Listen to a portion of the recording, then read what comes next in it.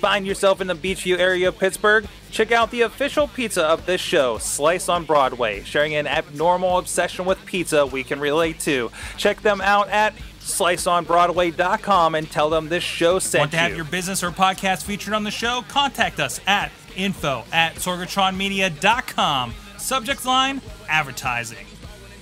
hungry, but I ain't starving yet. Paying for the pain, cocktail dollar set. Never said for the taste Hey guys, it's the Indy Mayhem Show, episode 43. I'm Mike Sorg at Sorgatron on the Twitters, coming at you from the Mayhem Studios in Pittsburgh, PA. A video producer here with uh, independent wrestling, doing some shows, doing some documentaries, all kinds of fun stuff, and podcasting, kind of where we started. Also with me from San Antonio, Texas, he's the uh, commentator for Inspire Pro Wrestling, part of the great NWA organization, uh, and also a recent writer on NWARingside.com.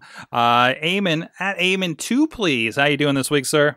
I'm doing fantastic, sort of trying, and I'm excited to talk about some more indie wrestling as we do every Tuesday night.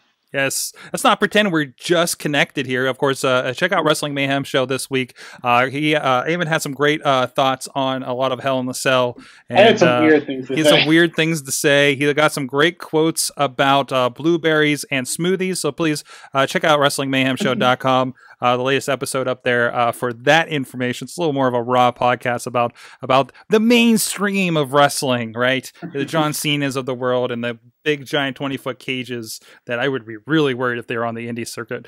Um, but in the meantime, hey, big uh, shout out to Basic Sickness, basicsickness.com for the intro, outro music for this show, as well as the other Wrestling Mayhem show uh, that we do here. Uh, you can also check out everything we're doing over at WrestlingMayhemShow.com, including links for iTunes, Stitcher, Spreaker, iHeartRadio for the Indy Mayhem show. You can search us on there as well. Also, please drop us a line if you have any thoughts about indie wrestling. if You have any thoughts about our guests. If you're about an up and coming guest and you have a question for them, go to goodtimes at wrestlingmayhemshow.com or uh, the phone number at 412 206 WMS0. That's the hotline. You can leave a voicemail right there. Um, and also, uh, you can join us here every Tuesday, 11 p.m. Eastern Time at live.sorgatronmedia.com. And you can jump in the chat room and join us there. And we're also on uh, social media all over the place at Mayhem Show on the Twitters, uh, as well as uh, Wrestling Mayhem Show on Facebook, Google Plus, and our great Facebook group where we have a lot of great discussion. So this week, uh, again, somebody uh, from up here in the Pittsburgh area, uh, he we've seen him a lot uh, across. Wow, just about all the promotions I think around here by now. He's the former Pocket Rocket. He's the heavy metal rocker. He is Aiden Veil on the line with us right now. How are you doing tonight, sir? Doing great, man. Just hanging out in the tub with some scented candles and a little Rod Stewart, uh, bringing the night. it's not a gimmick for you. You really are a rocker, right? Now, this is a guy. Uh, he, uh, IWC. He starts coming out with drumsticks, and and and your and your. Uh, tell us what is your recent tag team again? Uh, we are rock stars, and in short, war. So every match we are involved in, we go to war. Awesome, awesome. I always and of course with uh, Jordan Lennox, your partner, a great, uh, great tag team, upcoming tag team there in IWC. Been around for for for a bit now. Um, I, I I have to make a confession. I I don't know if I confessed this to you in person uh, in one of our car rides here, but uh, I was always sad that because when you started with IWC with the coming out with the drumsticks, that you never got a chance to team with Logan Shulo, now signed to WWE, of course, um, when he had the mic stand. I know that would have been pretty cool, actually. I talked to him about that a couple times because um, I didn't actually know that he could play the guitar until you know until we became better friends, and I thought like that would be actually pretty cool if we could do something. And like I actually brought my drums, and he could do his guitar, and he could sing, and we could shuck and jive, you know, something just do, collab in some way at a show. That'd be pretty cool. I always thought. Oh, that, that'd be awesome. Well, I know at the time, I think you were just coming in. We're like, well, maybe Aiden can be the roadie or something to start with, right?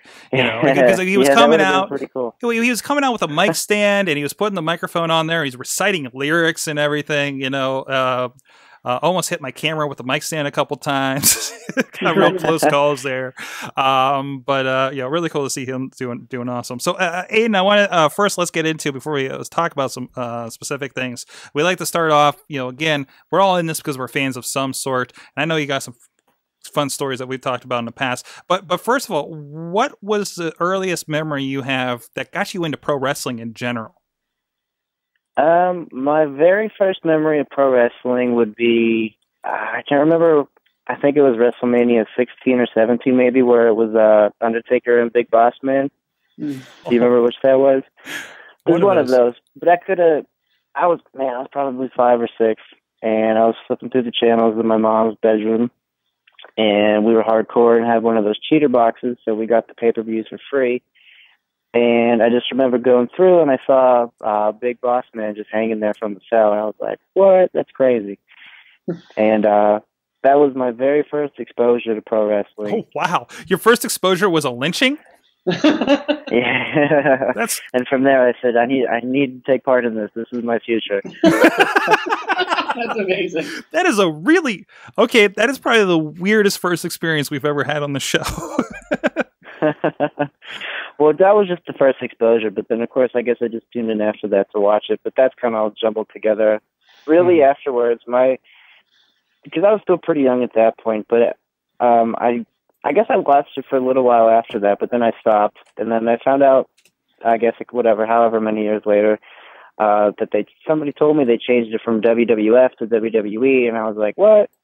So I had to check that out, and then from then on is when I started watching consistently. I think I was, I feel like that was, well, I really don't know. You know, I feel like that's a couple of years later, but I was still pretty young at the time, probably like fourth or fifth grade. Awesome, awesome. I know we uh, uh, we've had the conversation before. You you've had uh, some run-ins with one of the superstars. I know we talk about a lot on the other uh, podcast, the Wrestling Mayhem Show. Uh, can you can you can you tell us that story for for our friends here? Are you talking about the big story with, uh, you know, the my main man, Mr. Uh, JC? Yeah, the big Tarantino? story with JC. well, there I was, right, in the old sixth grade.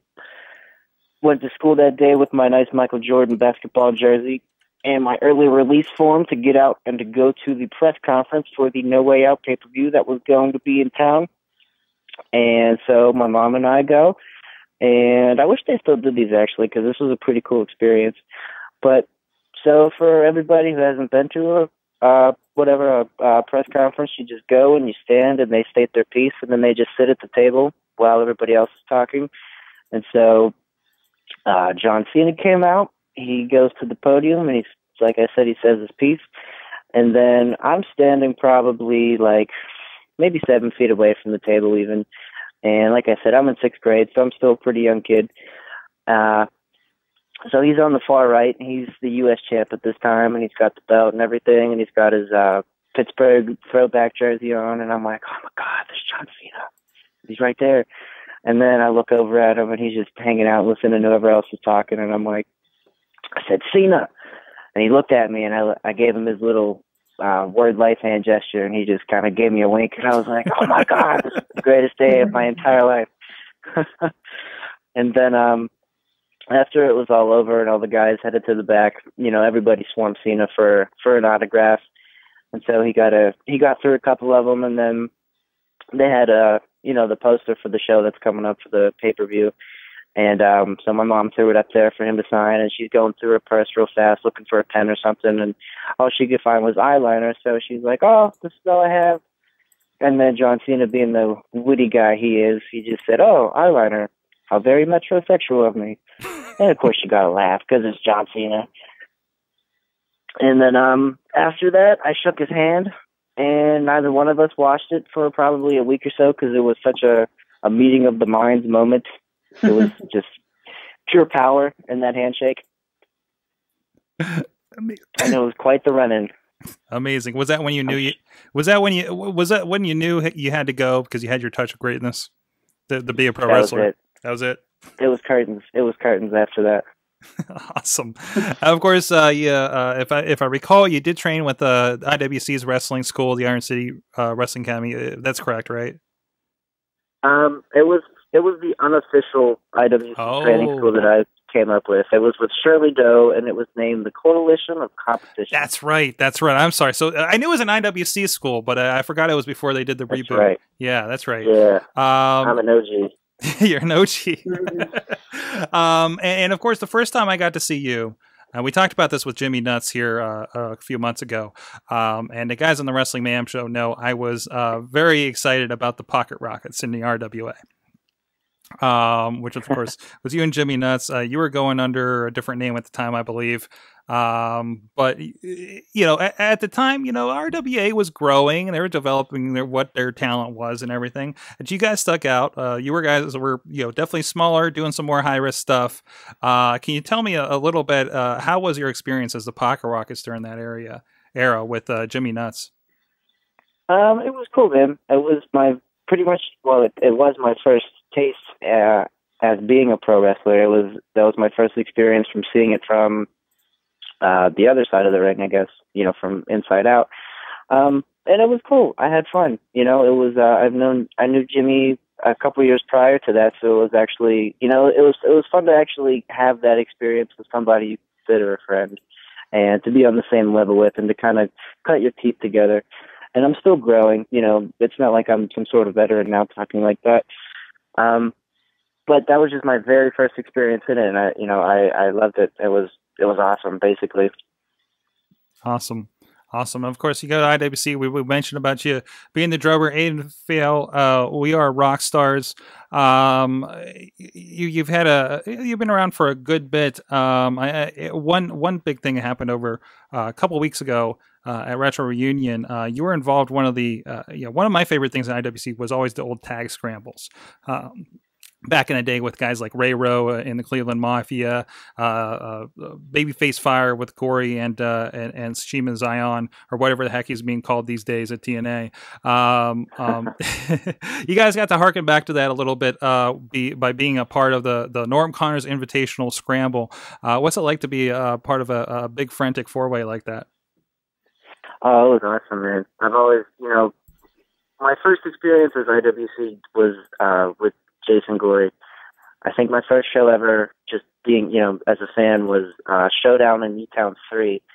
Oh wow! Um, and yeah, so you know it's it's just just like I kind of how I just said before. You know, it's it's it's cool to be you know on the inside looking out and growing up. You know, and and watching Shiima and and Gory. It was cool. To, it's it's cool to be in the ring with either one of them. You know, it's just it's cool to be in the same locker room with any of them. So it's just a great experience, and anytime I, you know, I'm even considered to be in something like that, it's, you know, it's an honor. Awesome, awesome. Now you're also involved with uh, Vicious Outcast Wrestling. We've talked to a few people from there uh, over over these uh, few months, uh, another uh, kind of out of Pittsburgh uh, kind of organization, and you're doing something very different there. Uh, we talked to Generation Dead in the past, who are of course involved uh, big. Can you, can you explain uh, what's going on over there? You're doing something a little different because you're you're very much. If you guys aren't on video to see the picture, like he is, this guy is the, the the rocker. He's wearing the denim. He's got the bandana, and he was definitely doing this at VOW as well. But now it's kind of turned to something different.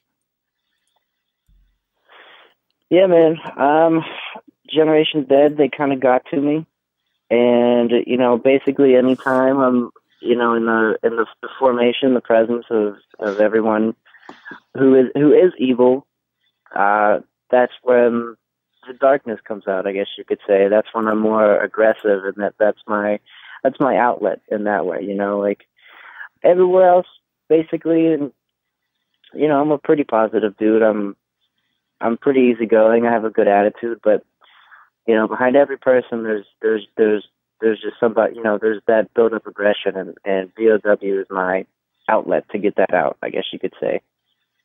Awesome, awesome. Do you um so so you know are, are, you working? Uh, is it is it a different side of Aiden as as far as what you're doing in the ring? Are you is it is it more vicious? Are you trying a different style when you're out there uh, in the face paint? Um, yeah, I would definitely say it's more vicious. You mm-hmm. know, it's it's not as flashy. It, it's not as um, you know, it's not as eye pleasing. I guess it's just more straight to the point. I guess you could say more cutting down uh, whoever I'm in there with. You know what I mean? Hmm. Um, awesome. And I know we've talked a lot about IWC, uh, you know, in the past, but uh, VOW definitely seems like it's a different feel. Uh, what, what would you uh, say, you know, is the differences, big differences between the two promotions as far as what people are going to get? Um, it's kind of tough to say. I would say they both they they both get it. hmm You know, they're both VOW is obviously um, what they've only been around for going on two or three years, I guess. I, th- I think they're having a second year anniversary here coming up.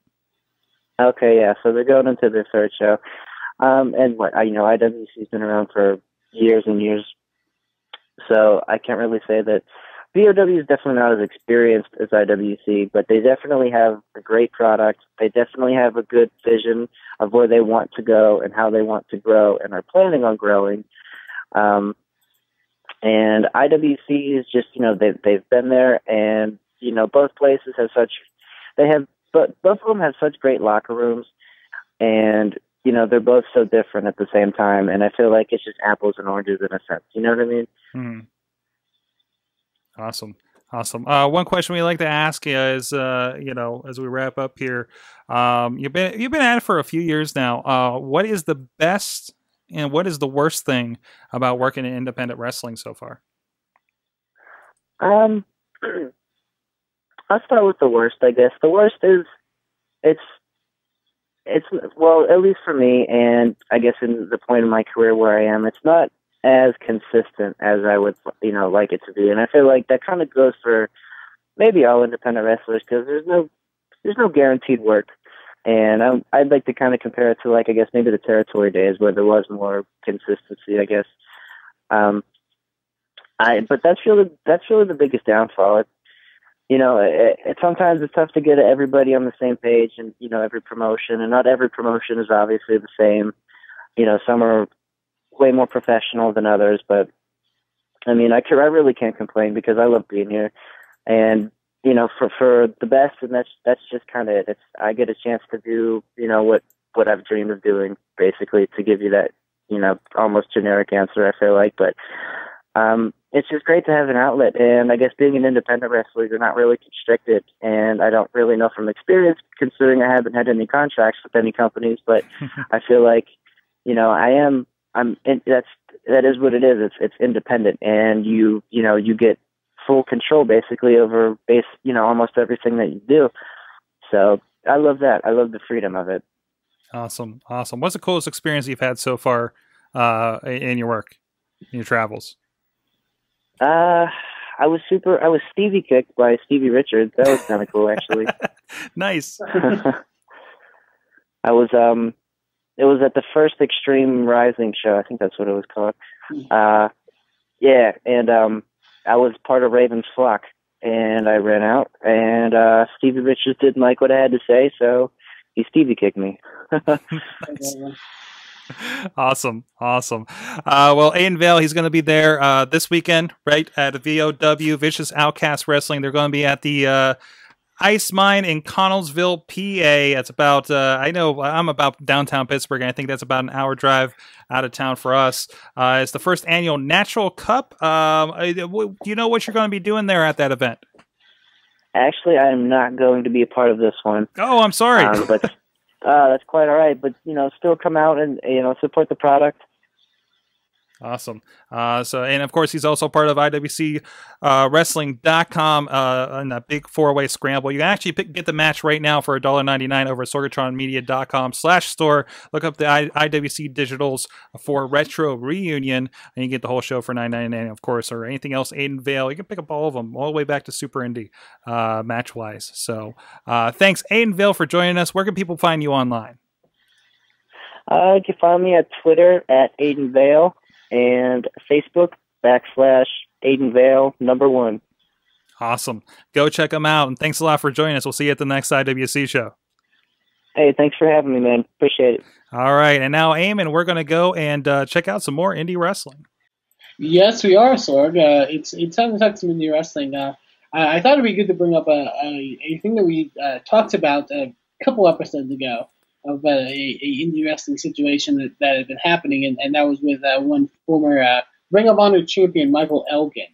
Uh, uh, for those that don't know, from when we first talked about the story, Michael Elgin dropped the Ring of Honor World title to Jay Briscoe at their, well, not, not, Glory by Honor, um, Death Before Dishonor, I think. I, I may be wrong. they they got a lot of names. Their, their event in Canada. Uh, the reason cited being because of he had issues with his work visa, which caused you know him to not be able to wrestle in America, um, and and kind of basically be detained at the border, which would prevent him from you know wrestling on TV tapings and stuff like that. And he had to, you know, I think drop a couple titles for a couple different companies as well. So it was a very you know terrible situation. Um, and basically, there was a lot of controversy that came of it. Uh, Michael Elgin being very vocal on Twitter about the issues and about how Ring of Honor had been uh, advertising him for his return for a show and, and how he wasn't going to be at the show and and uh, basically uh, he left the company. Um, uh, there's been a couple developments with that. Uh, he released a shoot interview. Well, uh, I should say High Spots released a shoot interview with Michael Elgin just weeks after the whole incident to kind of explain it um, and and go into depth with it. And the preview is on the High Spots YouTube channel. You can go check it out. A very interesting video. mainly, one of the main interesting points is that uh, for most of it, Michael Elgin's uh, having this interview uh, and he's talking with a with a dip in his mouth, which is interesting choice. Um, uh, and he's, he's basically talking about how uh, you know legal action was kind of threatened on the part of Ring of Honor uh, for for some things, and and obviously it was just a preview for the interview, so there's not you know you you have to buy the DVD to get the full story. Um, but basically, uh, Ring of Honor uh, had a couple events in Lakeland, Florida, uh, this past weekend, uh, and they had been announcing along with their card that Michael Elgin was going to be making his return at that event. Uh, and Michael Elgin once again spoke out and said, "No, I'm, I'm not part of this." To the point where he even on a on a Facebook uh, post released word for word the email that Ring of Honor sent him uh, which uh, basically went into what they wanted him to do at the show, where he they wanted him to put over Jay Briscoe and then and apologize to the fans for the visa issues and and and basically try to make good of this PR or they would threaten legal action. Uh, and uh, Michael Elgin kind of was very public about that aspect as well. Um, and but Ring of Honor continued to uh, advertise him for the show um, which was very odd until obviously not knowing what was going to happen until the show started. Uh, and and Michael Elgin did appear, uh, and he it was part of their TV stuff. Uh, and apologies, there is some spoilers for TV, uh, so if you don't want to listen, fast forward. I would say if it on this on this podcast, but um, he basically was scheduled for some matches. I believe there's a match with Cedric Alexander. He's supposed to wrestle. He comes out in like a white beater and like jeans, like very much sort of like Dean Ambrose esque style of attire, and uh, basically lays down and then refuses to wrestle, um, which is interesting. The, the, the, it seems as if Ring of Honor is going a very uh, uh, work shoot route, which is weird, in my opinion. And then, and to be entirely honest, not my favorite thing in pro wrestling. I'm not a, not a gigantic fan of the whole work shoots uh, kind of angles. Uh, and in fact, Ring of Honor is kind of doing like a work shoot sort of thing with Tommaso Ciampa as well, where he's like uh, been attacking people and, and trying to sneak into the building and stuff like that. It's very, um, it's very weird. I, I, I, don't know if this is the path Ring of Honor should take. Um, and the question is how much of this, it, it really puts into question how much of it that the thing is is actually true. Maybe Michael Elgin is having to work in this situation because of legal action that's being threatened against him. Uh, and and the Ring of Honor is just attempting to sort of write it off by doing this sort of work shoot angle. Um, it's it's very weird, and and I don't know if it's the right way to go, hmm. to be honest. Um, but yeah, very weird stuff going on in that whole situation. And I believe uh, Michael Elgin even wrestled uh, for an indie event uh, one of these past weekends. I heard from one of the reports of someone that was there that he basically kind of shit on shit on Ring of Honor and like uh, uh, put put over the company that he was wrestling for. Um, and yeah, I, I, I don't know exactly what's happening, Sorg. I, I know. so confused. Um, if it's a work shoot, God, guys, I, I don't know if that really works for anybody. uh, especially to the extent that they're going with this one. He's posting And especially emails. in like Ring of Honor, with like Ring of Yeah. Honor's audience. Like I don't. I mean, is, is it ultra serving that that that i that online wrestling fan at that point and making them eat it up? Hell, we're talking about it, I guess. Um, Yeah, yeah. But I mean, I think for both of us, we're like, well, we kind of like Ring of Honor and we kind of like Mel- Mike Elgin. So can't we all just get along? It's like, well, oh, maybe it is a work shoot and they're not really separating, and that'll be awesome because they're not really separating, and that's where we can go with that. Uh, but you know, do we But really have to do also it? kind of like the history way? of like Ring of Honor's issues and stuff like that. It's it's you know some of the discuss, the stuff we discussed like when we first reported on it. Like it's it's very odd from coming from Ring of Honor. I think specifically just because they've had had issues in the past with people kind of being upset with the direction of, of the company ever since uh of, ever since uh, Sinclair joined. So Uh, and I I refute that because I think uh I think Sinclair's been a lifeboat for them. well, Um, yeah, they're- I, They're a great. they- they're a great show. They're a, they're the most watchable, ongoing show they've been Mhm. since since they've been on television. Right. I Um, definitely think it's it's great for Ring of Honor, the company as a whole, since having them. I think we, when I say like issues with Sinclair, it, it seems as if the issues are more with talent and, and Sinclair, and and with the, the there's been some disputes. I think in that department mainly. Um, but as far as far as the actual company goes, I mean Sinclair's been um, amazingly helpful. I think with Ring of Honor, in- Yeah, in, making yeah. them bigger. I think um, when you get to that point, uh, because name me any of the top three companies that has never had a dispute with their talent over a contract. This, Yeah. is- this is what happens if somebody looks like a dick. Um, TNA, WWE, it doesn't even matter, right? Mhm. You know, I, I, I think uh, not not just to be all like dog and Honor here too, because I think the uh, uh, that's very that's very true, and I think the weird part about this is how public it's becoming. Yeah. Uh, especially on the part of Michael Elgin, like basically being like, "Hey, here's word for word the letter they sent me of what they want me to do with the show." Yeah. Like that's kind of I don't I don't know about if that's considered if that is the point where it crosses from a line of being professional to maybe being not that professional. Yeah, yeah. Uh, I don't know. He's making weird decisions here. Um, and yeah, and and if he's doing that, it, the problem is when you when you go that far, whether you're justified or not, now you look at. Unfortunately, you kind of I think black eye yourself towards future employers. Exactly. You know, well, if he does that with them, what is he going to do if we don't see eye to eye if I book him? You know, as, Mhm. as another wrestling promotion. Um, and again, I'm not familiar with that process at all. Uh, but you know, there there's a lot of trust and understanding. I think that goes into that because it's it's. I, I think most bookings, as we- as as the level of Michael Elgin goes, is a kind of a handshake email agreement. You know, yeah. uh, uh, you know, nobody's there's no contracts here, guys, other than uh, Ring of Honor and up. So I don't know. Uh, so I, I think he, I, I, I view it as I think he needs to watch out there. Uh, but I don't know. In the in the long run, I kind of hope it's a work shoot, just so he's not So- relegated. I really hope either that or he's got a WWE contract waiting in the wings, so he's saying "F it." Yeah. Well, like I really hope he knows something we don't as far as that goes, and obviously he does about something. Um, Right. So, uh, really odd. eh, I don't know. And again, I haven't listened to the shoot interview, so maybe that would, you know, I, I haven't listened to the full shoot interview. And he's not the first one. And and and in every situation like this, like the Kenny King situation, Kenny King kind of looks like the dick in this. Yeah. You know, because he left. If I recall correctly, he left and it was still kind of promised some dates and maybe officially under the weird contract that they have. And I've heard things Mhm. about uh, Ring of Honor's contracts that are very curious.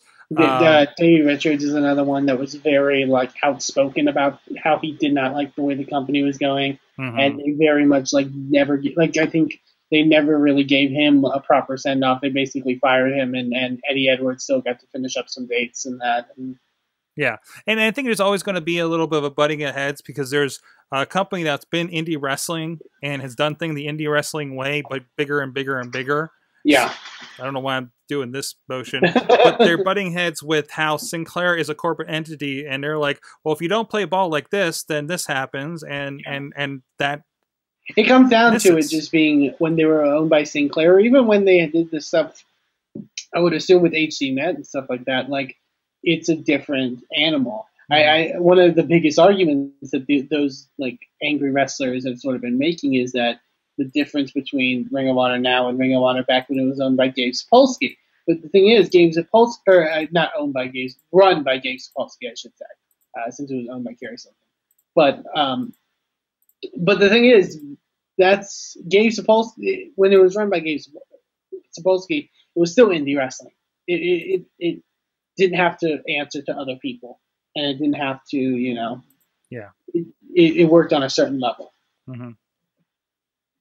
So I think that's the main difference. And and like I said, hopefully, if more happens with this story, I don't know what's happening uh, upcoming for Ring of Honor uh, with Michael Elgin. I know there's a show in San Antonio in a couple weeks uh, for Ring of Honor. I'm, I'm looking to go to that. I, I wonder what may happen there. I, I, I don't know exactly, but it, it's it's interesting stuff. Definitely, definitely interesting stuff. Certainly. Uh, one to watch, uh, but I hope it all works out. I hope everything works out for Mike Elgin. He's a great guy. Uh, I know we both dig watching. So Mhm. awesome. Yeah, definitely. Good, good.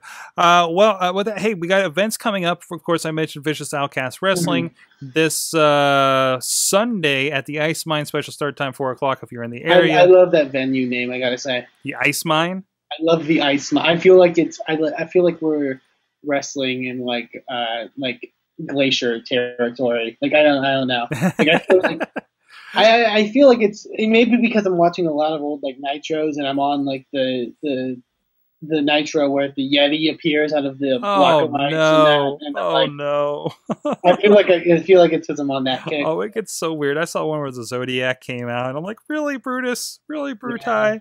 You know, it's really Oh, just Brutus Like every gimmick has been just he dresses the same, but he has face paint or he has this the booty man. It's a, it's it's a weird tangent that maybe we should be having on the main show, but it's it's a this is a weird era in WCW where you had the weird stuff with Hogan and and and the the Dungeon of Doom and all that, but at the same time you had a lot of like Japanese wrestlers wrestling, like and and there's some really cool wrestling happening. Like this is right before like Starcade '95, where it was all like WCW versus Japan. Oh like, yeah. I, I saw I saw the ads for that on the nitros I was watching. Um, because nitros are the thing that I put on when I can't sleep, and just put Mhm. it on the nightstand on on on my uh, tablet. Uh, it's been tremendous. Anyways, anyways, uh, via, Vicious Outcast Wrestling, uh, November 2nd. Of course, we have digital downloads at sorgatronmedia.com slash store. I know they're selling DVDs at the shows. I don't think they're selling them online. Uh, they just have a link to us. That's right. That's right. Uh, so you can go check that out, including uh, September Sin that had Sabu. Great interview with Sabu on uh, on uh, uh, Talk is Jericho uh, podcast this uh, past week, I believe. Uh, go check that out. Uh, but they're having the Natural Cup, including some uh, great great guys. Robbie E from TNA is going to be there. They're actually teasing there's going to be somebody from uh, the Big Feds uh, the next several shows. Uh, so this is going to be November's with Robbie E, of course. Uh, with Sabu being last month's, uh, they're teasing guys that have been from TNA, from w, former WWE, uh, ECW guys. Uh, so go check that out. And they do have their schedule up actually already from the uh, 2015 calendar. Uh, so go check that out.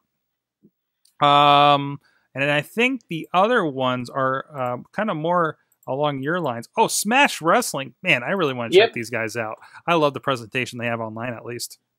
Oh, I actually just watched the, the today. They're uh, back in I believe it was like June or something. They had like a free like uh, uh, uh, MP4 that you could buy for one of their shows. It's a really good show. Hmm. Um, they're holding their TV tapings uh, this weekend on the second, uh, this Sunday, uh, in St. Catharines, Ontario, Canada. Uh, go support uh, Smash Wrestling. A lot of good stuff on this card. Uh, Matt Cross, who's the current Smash champion, uh, defense against Player Uno of the Super Smash Brothers. Uh, there's women's wrestling with Cherry Bomb taking on Candice LeRae. Uh, Courtney Rush against Vanessa Kraven. Uh, Johnny Gargano takes on Pepper Parks. Uh, should be some really good stuff. Uh, uh, there's, like I said, Smash Wrestling and, and Sorg mentioned it as well, like doing some really good stuff wrestling wise, but also uh, production wise. Yeah, certainly. They got a big video screen. Really good. Looks like they're doing some fun stuff with this video. Looks pretty decent. I'm seeing a lot of familiar faces. Is that Jake Clemens I see? That Uh, Jake Clemens does ref for, oh, for Jake Clemens. And include, I believe, I don't know if he's doing it now, but I know Jimmy Korderas actually ref for them for a little while. So, Nice. uh, so yeah, there's there's a huge who's of people. I mean, Chris Hero's, you know, wrestling for them. Uh, uh, people like ACH, Michael Elgin, who we mentioned before. Um, uh, tons of people. Uh, so Smash Wrestling's doing some really cool stuff. They just finished their uh, Canusa Classic with uh, uh, the women's wrestlers of America versus the women's wrestlers of Canada, and that seems like it was a major success. So uh, definitely go check them out. They're one of those companies that's kind of under the radar. You may not know about them. You may you may know about them, uh, but you absolutely should because they, they seem to be producing some really cool stuff. So uh, you can follow them at smash-wrestling.com. And like I said, uh, their event in Ontario is on Sunday, November 2nd. So go check them out there.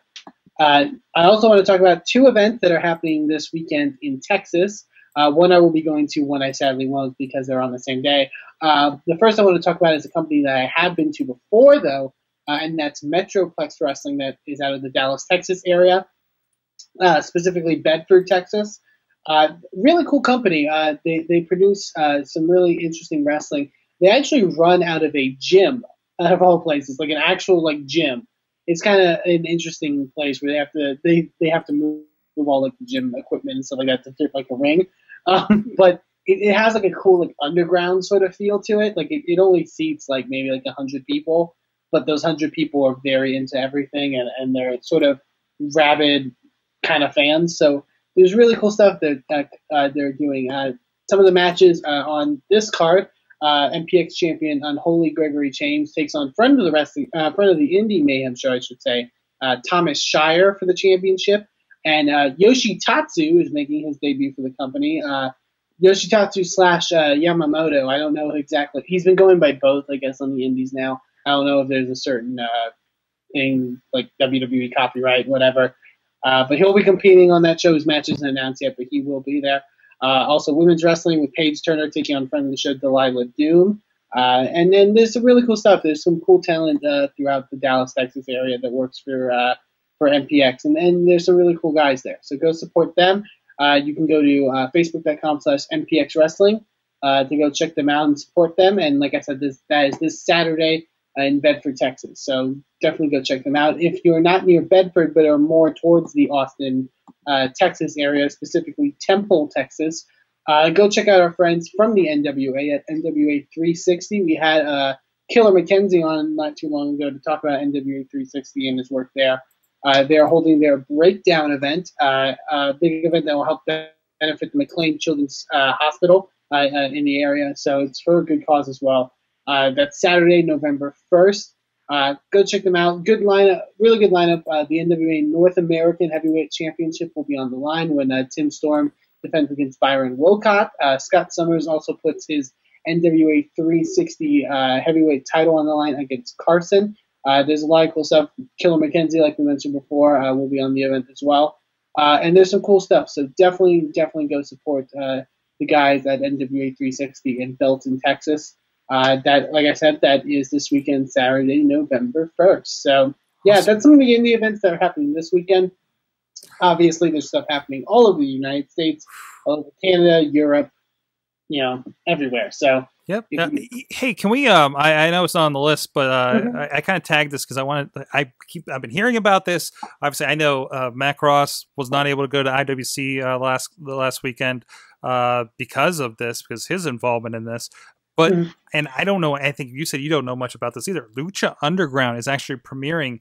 Uh, I think Wednesday night here this week, as of this Yeah. taping. Yeah, I know they've been doing a couple like TV taping stuff like that. Um, I, I I'm interested in Lucha Underground. It's kind of, from what I can tell, it's if you remember back of the days of like Lucha Libre USA, Yeah. sort of more of a. I obviously since it's Lucha Underground, uh, it's sort of a more like different feel to it. Like it's it's more hard, sort of a indie style, like hardcore sort of style, as opposed to like mainstream as you as Lucha Libre USA kind of was. Um, there's interesting stuff there. I know Matt Striker's involved in that a little bit. Uh, there's, Yeah, there's a uh, uh, there's a video here from uh, Big Zeke, Ezekiel Jackson, uh, Mac Ross, like we, we mentioned. John Morrison's involved with it, so it's a it's a pretty tremendous uh, uh, mix of talent. Definitely, Uh, absolutely. so uh, I presume going to be I, I hear great things about it. I actually don't know a lot of the, you know, the logistics behind it, but yeah, I I, I- always hear about Lucha Underground constantly, so they So must be doing. I it's mean, it's on that's the case, they must be doing something right. it's on the El Rey network. Uh, of course, oh, yeah, I guess they've probably had a bunch of tapings, right? Uh, is Yeah. what I'm hearing about. Um, so, going to invite Serafini to this because she was suggested. Uh, but uh, Friend of the uh, what is the El Rey? I haven't had cable in so long, and maybe you don't either in high in, in college here. Uh, but uh, yeah, uh, like I don't even know. I'm hoping they're going to have it somewhere else so that I can Yeah, get to yeah, it, or or. I'm, I'm not sure. or am I just going to discover it like like like you all good hardcore wrestling fans do? I don't know, uh, but it, like I- want to check this out. What is the El Rey Network? Where can I find this? Um, I, I don't know. Yeah. Well, well, we'll have to do some digging and, and, and some searching. Yeah. yeah, I, I have no clue about that either. But very um uh you know there we we talked in the past about WWE uh at, at the time pushing like Batista and guys like Rey Mysterio uh what you have with the uh um oh Ricky Reyes is in this I remember him okay, yeah, yeah, he's yeah. a he's an IWC guy uh, geez he's a great guy I'm glad to see he's, he's getting some awesome work something on TV like this um it sounds it looks like this is exactly the kind of thing where he I think he would shine you know Mhm. uh, Ricky Reyes I always loved. He was one. He is kind of like like well, the first IWC show I went to. The main event ended up being him and Low Ki, and and then of course LB lets me know that those two were the Rottweilers and, and Ring of Honor and everything. Uh, Except for like homicide and stuff like yeah, that. So yeah. very hard hitting, but also technical style. Um, that I think like would never fly. Uh, obviously, Ring of Honor, great. Never fly in WWE. Um, but this, I think he could have some fun with it here for sure. Um, but that's cool. That's cool. And they're showing shots of uh, uh, John Morrison. I don't know what what they're. I forget what they're calling him because I know he can't use the John Morrison name. Last I knew. So, yeah.